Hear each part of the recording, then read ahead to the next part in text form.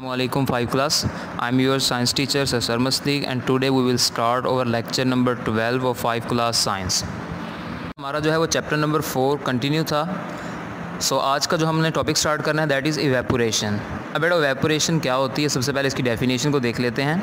The change of liquid state of matter into its gaseous state without boiling is called evaporation मिसाल के तौर पे आपने जो है वो पानी जो है वो किसी बर्तन के अंदर लेके रखा हुआ है और हम बग़ैर उसको जो है वो हीट किए, गर्म किए बॉयल किए जो है, अगर हम उसको ओपन एरिया में रख दें और वो थोड़े ही देर के बाद या कुछ दिनों के बाद अगर वो वहाँ से जो है वो पानी जो है वो खारिज हो जाए तो हम उसको इवेपोरेशन कहेंगे। मीन हम इसमें हीट का यूज़ नहीं करेंगे। So that is called evaporation wet clothes are dried due to evaporation बेटा, जब हम कपड़े धोते हैं, ठीक है, और कपड़ों को जो है वो खुश करने के लिए जो है वो हम उसको हैंग करते हैं तो हम उसको जो है वो हीट अप नहीं कर रहे होते। तो हम उसको जो है वो ओपन एयर के अंदर जो है वो उसी तरह फ्रीली जो है वो हैंग कर देते हैं और with the help of sunlight सूरज की रोशनी की मदद से विंड की मदद से जो है वो हमारे जो गीले कपड़े हैं, वो बेटा खुश्क हो जाते हैं। When the liquid water evaporates बेटा, जब जो है वो हमारे पास लिक्विड वाटर जो है वो लिक्विड स्टेट के अंदर होता है, जब ये बेटा इवेपोरेट होता है इट्स चेंज इट्स स्टेट्स तो बेटा, ये अपनी जो स्टेट्स है, अपनी हालत जो है, उसको क्या करता है? चेंज करता है. The liquid water goes in to the surrounding air as water vapours अब liquid water goes into the surrounding air as the water vapours. तो बेटा जो लिक्विड वाटर होगा, ये अपने सराउंडिंग एयर हवा के अंदर जो है वो चला जाएगा, जैसे ही पानी जो है वो इवेपोरेट होगा। मीन वो जो हम वेट क्लॉथ जो है वो हैंग करते हैं तो उसके अंदर जितनी भी अमाउंट ऑफ़ वाटर है, वो सारी की सारी हमारी जो है वो सराउंडिंग मीन हमारा जो इन्वायरमेंट है, माहौल है, उसके अंदर जो है वो शिफ्ट हो जाती है। The water can evaporate at any temperature पानी बेटा किसी भी टेम्परेचर के ऊपर जो है वो इवेपोरेट हो सकता है। Evaporation of the water takes place from the surface of sea अब बेटा, ये नहीं कि सिर्फ़ हमारे कपड़ों से इवेपोरेशन होती है, उसके अलावा कहाँ कहाँ से होती है? हमारे पास सरफेस ऑफ़ सी हैं, समंदर की जो है वो सतह है रिवर्स दरिया हैं कैनाल्स हमारे पास नहरें हैं लेक्स हमारे पास जो है वो मुख्तलि तरह की जो लेक्स हैं, ठीक है, झीलें हैं इसमें, ये तमाम चीज़ें जो हैं वो शामिल हैं। यहाँ पे जहाँ पे भी वाटर मौजूद है तो बेटा वहाँ से वाटर जो है वो इवेपोरेट हो रहा होता है। It also takes place from the leaves of the plants and from the surface of the snow तो बेटा ये हमारे पास जो पत्ते होते हैं, उनके सरफेस से भी जो है वो इवेपोरेशन हो रही होती है और उसके अलावा जो हमारे पास स्नो है इवन हमारी जो बर्फ़ है, उसकी सरफेस उसकी सतह से भी पानी जो है वो इवेपोरेट हो रहा होता है। साथ बेटा आपको ये डायग्राम नज़र आ रही होगी। ये आपको आप फॉरेस्ट टाइप समझ लें कि एक एरिया है जहाँ पे आपको जो है वो पौंड भी नज़र आ रहा होगा एक अ टाइप ऑफ़ कैनाल भी नज़र आ रही होगी और यहाँ पे एक स्टेगनेंट वाटर भी जो है वो मौजूद है। और अगर हम आगे इसको जो है वो देखें तो पहाड़ों के दरमियान जो है हमारे पास दूसरी साइड पे ओशन नज़र आ रहा है। तो ये हमारे पास वो एरिया है जहाँ से वाटर जो है वो एवेपोरेट हो रहा होता है। नेक्स्ट बेटा है condensation the change of the gaseous state of the matter into its liquid state is called condensation अब हमारे पास अगर गैशियस स्टेट से मैटर जो है वो अपनी लिक्विड स्टेट के अंदर आ जाए मीन हम यहाँ पे change of state of matter कर रहे हैं रिवर्स प्रोसेस के अंदर. रिवर्स प्रोसेस किस तरह? कि अगर हम जो है वो फॉरवर्ड में जाएँ तो सॉलिड से लिक्विड और फिर लिक्विड से गैसेज बनती हैं. जबकि हम यहाँ पे गैसेज को, अब वापस किसमें कन्वर्ट कर रहे हैं? लिक्विड स्टेट के अंदर. So that is called condensation when a gas is cooled बेटा, जब भी कोई भी गैस जो है उसको हम ठंडा करते हैं, इट्स पार्टिकल्स लूज़ हीट। तो उसके पार्टिकल जो है वो हीट लूज़ करते हैं, मीन वहाँ से हीट निकलती है, इवॉल्व होती है। तो ये आपने याद रखना है कि गैस ठंडा होने पे हीट को निकालती है, लूज़ करती है। एज अ रिज़ल्ट उसका नतीजा क्या होगा? Their movement slows down heat निकल जाएगी तो मूवमेंट जो है वो उनकी स्लो हो जाएगी। They come closer to each other वो एक दूसरे के क्लोज आ जाएँगे। And attractive forces between between them become stronger और उनके दरमियान जो अट्रैक्टिव फोर्सेस हैं, वो बेटा स्ट्रॉन्ग हो जाएँगी। हमने पहले पढ़ा था कि जो गैस होती है, उसके अंदर इंटर मालिकुलर डिस्टेंस या मालिक्यूल्स के दरमियान जो फासला है, वो बहुत ज़्यादा होता है। फासला ज़्यादा होने की वजह से अट्रैक्टिव फोर्सेस बहुत ही वीक होती हैं। लेकिन जब ये गैस फॉर्म से लिक्विड फॉर्म के अंदर आ जाएँगे तो बेटा हमारे पास जो है वो फोर्स ऑफ़ अट्रैक्शन भी ज़्यादा हो जाएगी। क्यों? क्योंकि डिस्टेंस हमारे पास जो है वो कम हो जाएगा। सो लिहाजा जो है ये स्ट्रोंगर हो जाएँगे। Finally बिलाखिर the gas changes into liquid और फिर एंड में क्या होगा कि हमारी जो गैस है वो किसमें चेंज हो जाएगी? लिक्विड के अंदर। ड्यूरिंग कंडेंसेशन कंडेंसेशन के दौरान heat is given out to the surrounding जो हीट है, ये बेटा सराउंडिंग को जो है वो दी जाती है। अब क्योंकि हीट यहाँ से निकल रही है लूज़ हो रही है तो वो कहाँ जाएगी? वो हमारे सराउंडिंग के अंदर जो है वो शिफ्ट हो जाएगी। बेटा जो हमारा टॉपिक है that is role of evaporation and condensation in the water cycle अब वाटर साइकिल क्या होता है वो इंशाल्लाह हम इसी टॉपिक के अंदर डिस्कस करेंगे। सो so, हमने इवेपोरेशन और कंडेंसेशन एक तो ये कि जो पानी जो है वो इवेपोरेट होता है वो और दूसरा जो है वो हमारे पास जो कंडेंसेशन है ये दोनों चीज़ें जो हैं वो इसमें हेल्प आउट कैसे करती हैं वाटर साइकिल के अंदर. Sea river lake canal pond etcetera are called water bodies ये तमाम चीज़ें जो हैं ये बेटा वाटर बॉडीज़ कहलाती हैं। क्यों? समंदर में पानी है दरिया में पानी है झील में पानी है नहरों में पानी है और इसी तरह तालाब के अंदर भी जो है वो पानी मौजूद है। So these are called the water bodies the transfer of the water from the water bodies to atmosphere अब बेटा, ये हमने जो पाँच छः चीज़ें पढ़ी हुई हैं, जिसमें sea river lake canal pond वगैरह शामिल हैं, इन वाटर बॉडीज़ से अगर वाटर जो है वो एटमोसफेयर के अंदर ट्रांसफ़र हो जाता है मीन वो एक जगह से दूसरी जगह चला जाता है वाटर बॉडी से एटमोसफेयर में चला जाता है and its return back is called water cycle देखें समंदर के पानी का एटमॉस्फेयर के अंदर जो है वो इवेपोरेट होना और फिर बारिश की फॉर्म में उसी पानी का वापस समंदर के अंदर जो है वो इंटर होना it is called water cycle clear हो गया? उसके बाद the sun shines on the water bodies बेटा सूरज जो है वो चमकता है, उसकी रोशनी पड़ती है कहाँ पे? वाटर बॉडीज़ के ऊपर makes the water evaporate into the atmosphere in the form of vapours और सूरज की रोशनी जो है वो वाटर सरफेस को हीटअप करेगी। उस हीटअप होने की वजह से जो पानी है ये बेटा इवेपोरेट इवेपोरेट होगा एटमॉस्फेयर के अंदर, किस फॉर्म में in the form of vapours evaporation also takes place from the plants through the transpiration अब ट्रांसपायरेशन क्या होता है कि प्लांट की सरफेस से वाटर का in the form of vapours छोटे छोटे जो है वो ड्रॉप्स की फॉर्म में जो है वो एटमॉस्फेयर के अंदर जाना, ये इवेपोरेशन कहलाता है and the surface of the snow on the mountains as these vapours rise up जैसे जैसे बेटा ये वेपर्स हैं, वो राइज अप ऊपर जाएँगे दे लूज़ एनर्जी इनकी एनर्जी जो है वो कम होती जाएगी and condense into water droplets और फिर ये गैसेस फॉर्म से किस फॉर्म में चले जाएँगे? इनटू वाटर ड्रॉपलेट्स पानी के जो है वो कतरे बनना शुरू हो जाएँगे। एट अ सर्टेन हाइट एक ख़ास जो है वो हाइट पर जाके these water droplets gather in the air and form the clouds तो बेटे ख़ास जो है वो ऊपर ऊंचाई पर जाके यही वाटर ड्रॉपलेट्स जो हैं वो बाद में इकट्ठे होंगे हवा के अंदर और बेटा ये क्या बना देंगे? क्लाउड्स बना देंगे, बादल बना देंगे। The water droplets in the clouds get heavier अब जो पानी के कतरे उन बेटा बादलों में मौजूद होंगे, वो हैवियर हो जाएँगे एंड हैवियर मीन वो हैवी से हैवियर होते जाएँगे उनका जो वेट है वज़न है वो ज़्यादा से ज़्यादा होता जाएगा।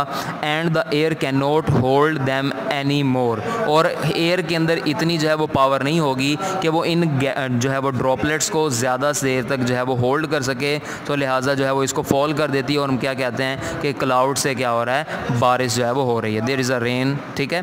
सो so, नीचे आपको एक डायग्राम जो है वो नज़र आ रही होगी that is a water cycle हम जो है वो बेटा सबसे पहले नीचे जो है वो बिल्कुल नीचे अगर हम देखें तो दैट इज़ ओशन ओशन के अंदर आपको ऑक्टोपस और कुछ जो है वो आपको फिशेज़ जो है वो नज़र आ रही होंगी इसकी दोनों साइड्स के ऊपर जो है वो जाने से पहले हम इस ओशन सरफेस से जो है वो देख लेते हैं अब देखें ओशन सरफेस से डायरेक्टली जो है वो वाटर इवेपोरेशन की तरफ़ जो है वो जा रहा है और इवेपोरेट होकर ऊपर एटमोसफेयर के अंदर या हमारे जो है वो एयर के अंदर ट्रांसफ़र हो रहा है अगर हम जो है इसी डायग्राम की राइट साइड देखें तो बेटा राइट साइड के अंदर जो है वो आपको फॉरेस्ट नज़र आ रहा है ठीक है तो फॉरेस्ट के अंदर जो है वो लिखा होगा ट्रांसपायरेशन ट्रांसपायरेशन जो है वो वाटर का जो है वो इवेपोरेट होना है in the form of vapours from the plant surface और अगर हम लेफ़्ट साइड पे बात करें तो यहाँ पे जो है वो स्पेलिंग का थोड़ा सा यहाँ पे जो है वो इशू है।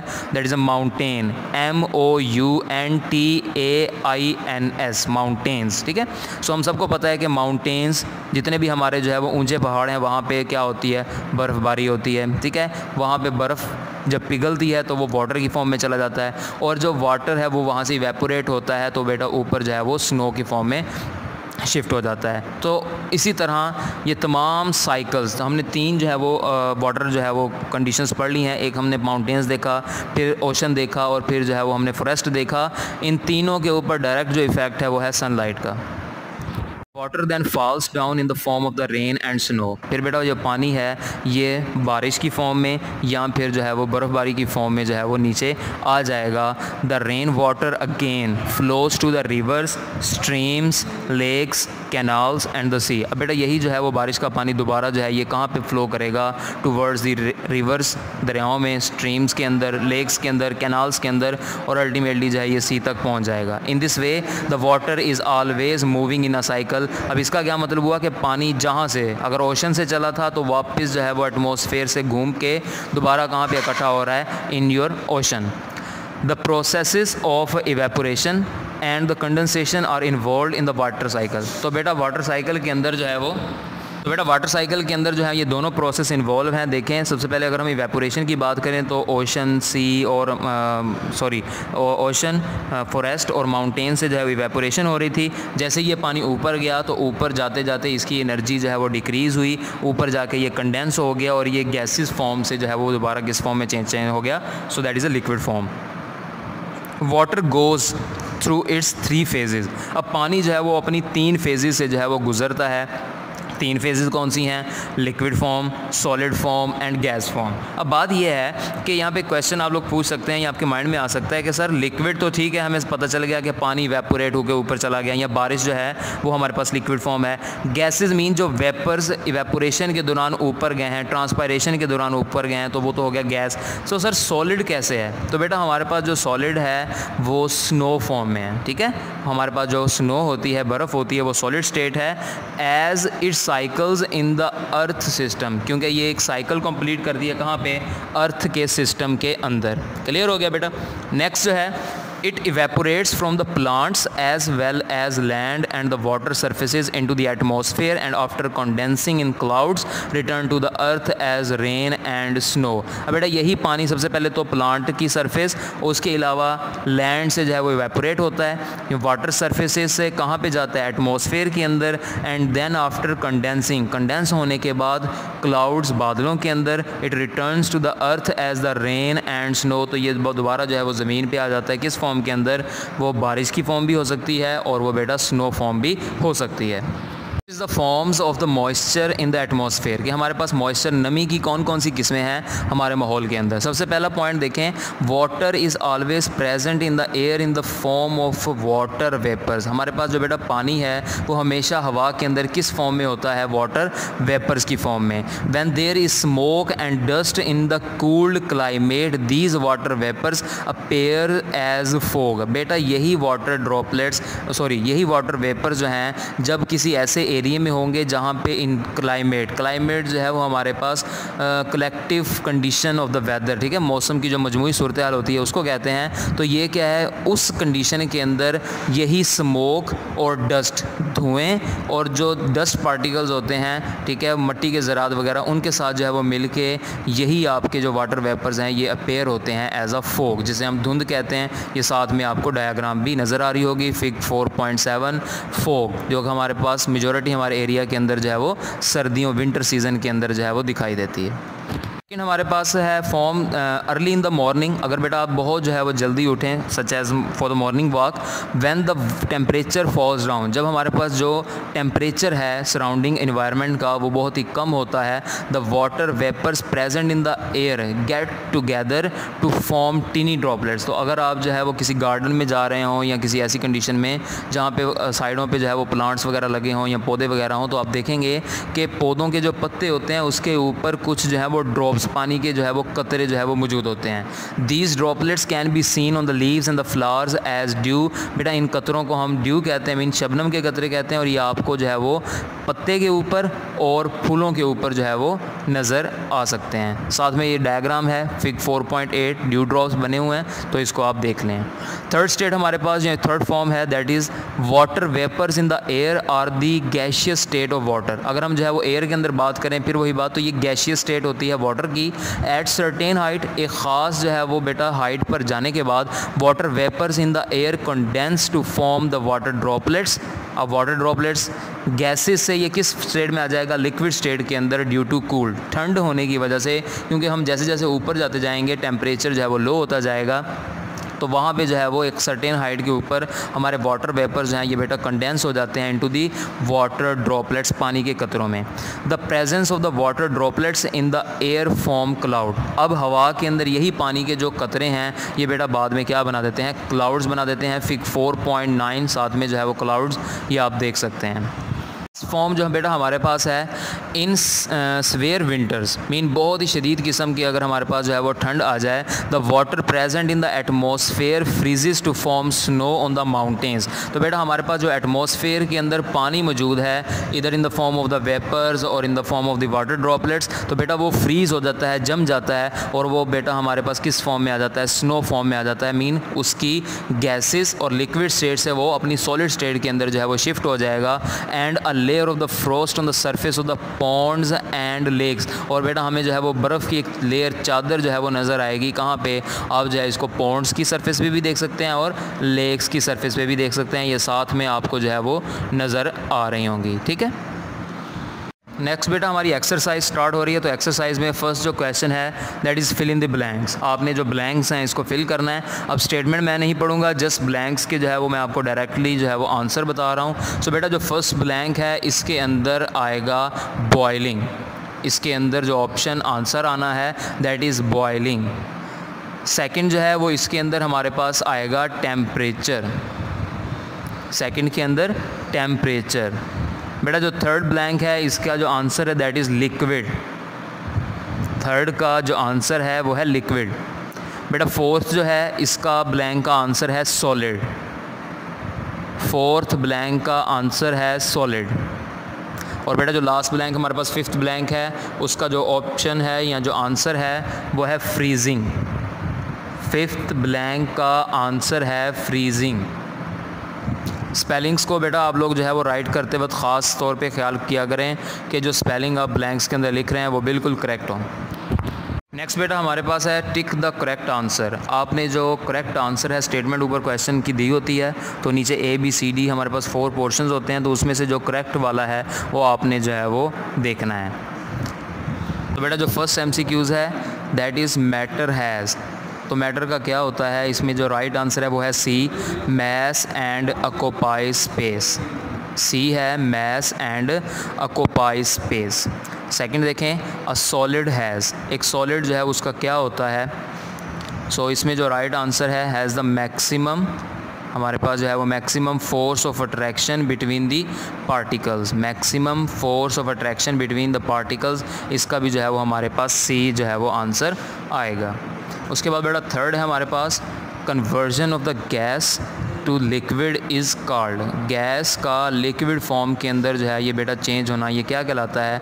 इसका जो राइट right आंसर वो है ए कंडेंसेशन ठीक है? कंडेंसेशन जो है वो इसका राइट right आंसर है। उसके बाद जो है वो फोर्थ है the process by which wet clothes dry up is called तो हमारे पास जो फोर्थ है, इसका जो राइट right आंसर वो आपके पास बी है इवेपोरेशन इसका जो राइट आंसर है वो है बी इवेपोरेशन उसके बाद जो है बेटा हमारे पास फिफ्थ है कि matter changes from one state to another with the change in so इसका जो बेटा राइट आंसर है so that is A temperature A temperature six है water is always present in the air as water water is always present in the air as तो बेटा, पानी जो है वो हमेशा हमारे पास जो एयर है, उसमें किस फॉर्म के अंदर जो है वो मौजूद होता है? सो दैट इज़ का राइट आंसर डी है वेपर्स फॉर्म में. लास्ट बेटा, हमारे पास है कि which of the following is opposite to boiling इसमें से जो है वो बॉयलिंग का अपोजिट आपने बताना है so that is D condensation बेटा, हमारे जो है वो शॉर्ट क्वेश्चन स्टार्ट हो रहे हैं so short question number one is what is matter mention the states of matter सबसे पहला ये है कि मैटर होता क्या है, और फिर हमने जो है वो मेंशन करनी है स्टेट्स ऑफ़ मैटर सो बेटा सबसे पहले हम मैटर की डेफिनेशन की बात करते हैं. Anything that has mass and occupies some space कोई भी ऐसी चीज़ जिसका कुछ वज़न हो और वो कुछ जो है वो एरिया को, जगह को जो है वो कवर करती हो इस कॉल्ड मैटर देन हमारे पास इसके स्टेट्स ऑफ़ मैटर की बात करें so there are the three states of matter first one is solid second is liquid and third is gas second question is differentiate between the boiling and the evaporation of a liquid बेटा boiling और evaporation दोनों के अंदर जो है वो आपने difference बताना है। सो so, जिस तरह मैंने राइट किया हुआ है डिफरेंस सेंटर में लाइन लगा के आपने इसी तरह जो है वो पेज के सेंटर में लाइन लगा के जो है इसको डिफ्रेंशिएट करना है। बेटा बॉयलिंग स्टार्ट करते हैं। The change of the liquid state of matter into gaseous state by heating change of liquid state हमने लिक्विड स्टेट को गैशियस गैसेस फॉर्म में जो है वो कन्वर्ट किया है बाय हीटिंग गर्म करके तो ये क्या है? बॉयलिंग है। और अगर हम बेटा इवेपोरेशन की बात करें the change of liquid state of matter into gaseous state without boiling यहाँ पे सिर्फ़ एक चेंज आ रहा है कि यहाँ पे विदाउट बॉइलिंग बॉइलिंग के अंदर हम हीटिंग जो है वो प्रोसेस करते हैं, ठीक है? लेकिन यहाँ पे हम जो है वो विदाउट बॉइलिंग मीन बगैर हीट किए जो है वो लिक्विड स्टेट को किस स्टेट के अंदर जो है वो चेंज करेंगे? गैशियस स्टेट के अंदर and that is called boiling sorry that is called evaporation short question number three देखें कि when does the matter change its states matter जो है वो बेटा कब अपनी जो है वो स्टेट्स को चेंज करता है? So matter change its states on heating and cooling matter जो है वो बेटा हीटिंग करने पे और कूलिंग ठंडा करने पे जो है वो अपनी स्टेट्स को चेंज करता है। इसके अलावा भी कुछ प्रोसेस हैं वो बेटा वो देख लें। Melting freezing boiling, evaporation and condensation are also involve in it ये कुछ और भी प्रोसेस हैं जो मैटर को उसकी स्टेट्स चेंज करने में जो है वो हेल्प आउट करते हैं। Question number four how do solids differ from liquids with regards to the particle arrangement किस तरह सॉलिड जो है वो लिक्विड से डिफ्रेंशिएट है, अलहदा है, उसमें दोनों में फ़र्क है किस लिहाज से अकॉर्डिंग टू या regard to the particle arrangement हमने उनके अंदर पार्टिकल्स की अरेंजमेंट के लिहाज से उनके जो है वो बारे में डिफरेंस बताना है। तो सबसे पहले जो है वो देखें in solids the particles are closely packed with each other and are arrange in order एक तो ये कि सॉलिड के जो पार्टिकल्स हैं, वो बेटा क्लोजली पैक होते हैं। दूसरा ये है कि वो एक ऑर्डर के अंदर जो है, वो अरेंज होते हैं। जबकि अगर हम while in liquids the particles are close together जबकि अगर हम बेटा लिक्विड में बात करें तो पार्टिकल क्लोज तो होते हैं एक दूसरे के but are not arrange in order लेकिन उनके अंदर कोई ख़ास अरेंजमेंट नहीं होती, कोई ख़ास तरतीब जो है, वो नहीं होती।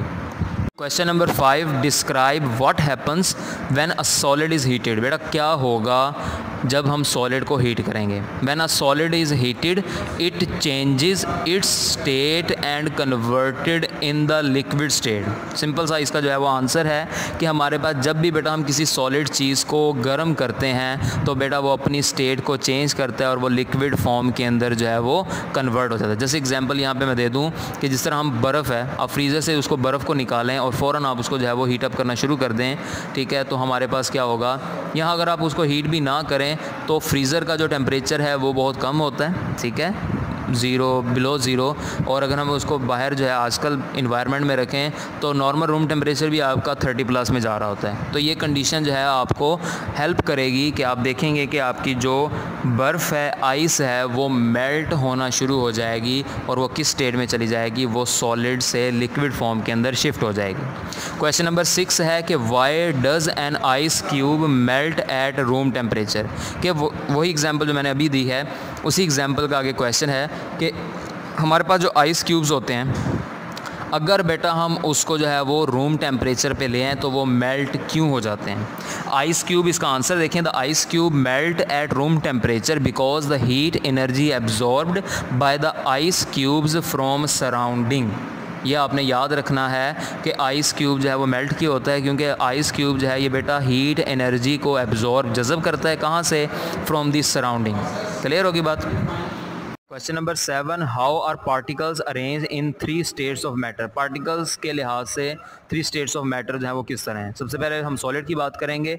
In solids the particles are arrange in order and are closely pack solid के अंदर पार्टिकल्स हैं वो बेटा अरेंज होते हैं किसी ऑर्डर के अंदर, एक स्पेसिफिक ऑर्डर होता है, और वो क्लोजली पैक होते हैं। लिक्विड में बात करें तो in liquid particles are close particles close तो होते हैं बट नॉट अरेंज्ड लेकिन वो अरेंज नहीं होते, किसी भी तरह की अरेंजमेंट अरेंजमेंट उनकी नहीं होती। While in the gases particles are far away from each other particles बहुत दूर दूर जो है वो मौजूद होते हैं and there is no force of attraction between them एक तो ये कि यहाँ पे अरेंजमेंट का क्यों नहीं आया?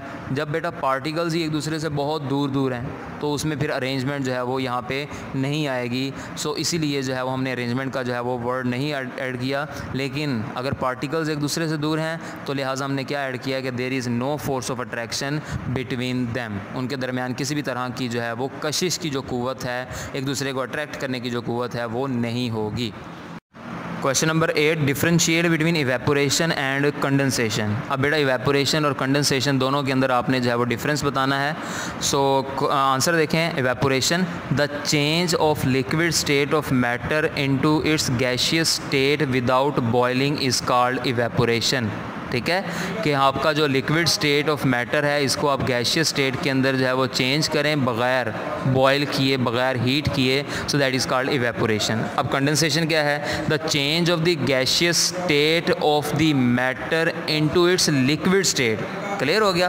कि हम इवेपोरेशन का रिवर्स पढ़ रहे हैं कि वहाँ से इवेपोरेशन में लिक्विड से गैशियस फॉर्म में आ रहा था। हम इस कंडेंसेशन के अंदर जो है वो गैशियस से लिक्विड फॉर्म के अंदर जो है वो जाएँगे। वहाँ पे विदाउट बॉयलिंग था। मीन वहाँ पे हीट जो है वो इन्वॉल्व नहीं थी। बट यहाँ पे हम जो है वो कूलिंग को इन्वॉल्व करेंगे। क्योंकि विदाउट कूलिंग जो है वो हम इस जो है वो कंडीशन को ऑक्यूपाई नहीं कर सकते। So we need the cooling so the change of the gaseous state of matter into the change of the gaseous state of matter into its liquid state by cooling is called condensation last question है differentiate between melting and freezing melting और freezing के अंदर बेटा क्या फ़र्क है? So so, answer क्या है? Melting the change of solid state of matter into its liquid state due to heat किसी भी सॉलिड को अगर हम हीट करते हैं गर्म करते हैं तो अगर बेटा वो आपके लिक्विड स्टेट के अंदर जो है वो चेंज होता है तो that is the melting